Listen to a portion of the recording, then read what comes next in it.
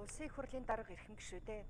нийгмийн бодлогын байнгын хороо 2022 оны 4-р сарын 26-ны өдрийн хуралдаанаараа нийгмийн даатгалын үндэсний зөвлөлийн зарим гишүүнд нэр дэвшүүлэх асуудлыг хилцэн талаарх санал дүгнэлтийг Улсын их хурлын чуулганы нэгдсэн хуралдаанд танилцуулж байна. Нийгмийн даатгалын тухай хуулийн 27 дугаар зүйлийн 27-гийн 2 дахь хэсгийг үндэслэн нийгмийн даатгалын үндэсний зөвлөлийн даатгуулагчийг төлөөлсөн гишүүнд Монголын үйлдвэрчний эвлийн холбооны ерөнхий нарийн бичгийн дарга буян жаргал Монголын төмөр замчдын үйлдвэрчний эвлийн холбооны дарга баяраа ажил олгогчийг төлөөсөн гишүүн Trust Trade хязгаарлагдмал хариуцлагатай компани гүйцэтгэх захирал Сансармаа нарыг эрх бүхий байгууллагуудаас улсын их хурлд санал болгосон. Байнгын хороо нийгмийн даатгалын тухай хуулийн 27 дугаар зөвлийн 27-гийн 2 дахь хэсэг Улсын их хурлын хяналт шалгалтын тухай хуулийн 31-р зүйл, Монгол Улсын их хурлын чуулганы хуралдааны дэгийн тухай хуулийн 123-ын 126 дугаар зүйлийг баримтлан нэр дэвшигчийн сонсголыг 2022 оны 4-р сарын 18-ны өдөр зохион байгуулсан болно.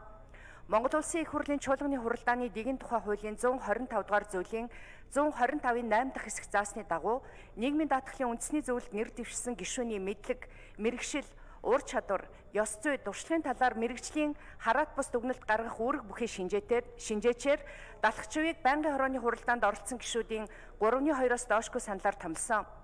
Хараат бус шинжээч нэр дэвшигчдийн ирүүлсэн баримт баримт бичгтээ танилцаж, нэр дэвшигчтэй ганцаарчсан ярилцлага хийсний үр дүнд гаргасан дүгнэлтээ нэр дэвшигчийн сонсголын үеэр танилцуулсан болно.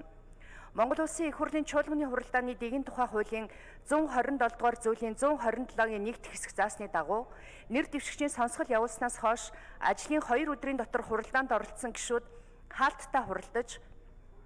Олонхын саналаар нэр дэвшигч тухайн албан тушаал тавьдах шаардлага хангасан эсэх дүгнэлт үндслийг тусгасан тайлан гаргасныг улсын их хурлын нийт гишүүд нэр дэвшигч болон түүнийг санал болгосон этгээд түргүүлсэн.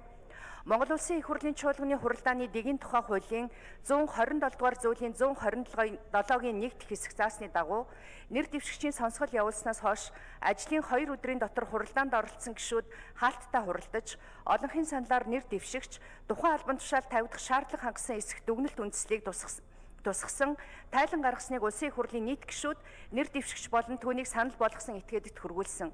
Нэр дэвшигчийн сонсголын тайланг улсын их хурлын гишүүн жаргалмаа байнгын хорооны хуралдаанд танилцуулсан бөгөөд сонсголын тайланд даатгуулагчийг төлөөлсөн гишүүнд нэр дэвшигч буян жаргал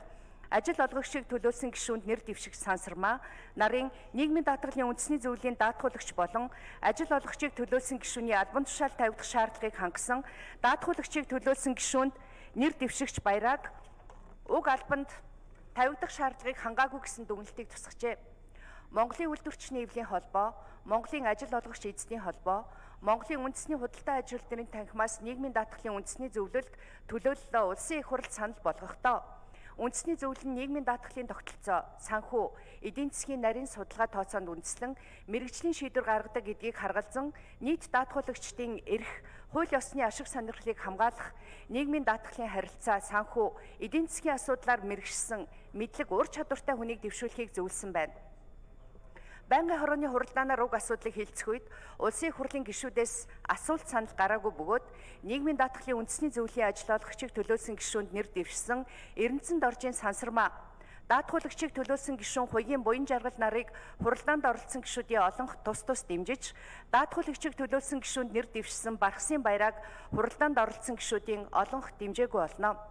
Нийгмийн даатгалын үндэсний зөвлөлийн даатгуулагч болон ажил олгогчийг төлөөсөн гишүүнд нэр дэвшсэн нэр дэвшигчийн танилцуулга, хараат бус шинжээчийн дүгнэлт, сонсголын тайлан болон байнгын хорооны санал дүгнэлтийг та бүхэнд хүргүүлсэн болно. Улсын их хурлын эрхэм гишүүдээ